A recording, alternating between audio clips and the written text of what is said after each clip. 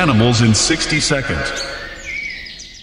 This animal's hair is grayish-brown with three or four black bands on the rump. It has a short tail and a cream-colored belly and feet. This creature has long ears that resemble rabbit ears in form. It has a long and thin snout. Bandicoots have a long nose, tiny black eyes, and other characteristics in common. The vertical bars on the coat of an eastern barred species, however, distinguish it from other forms of bandicoots. The legs and feet of this animal are some of the most fascinating characteristics about it. It can jump 3 feet in one leap thanks to its muscular rear legs and the webbing between its second and third toes.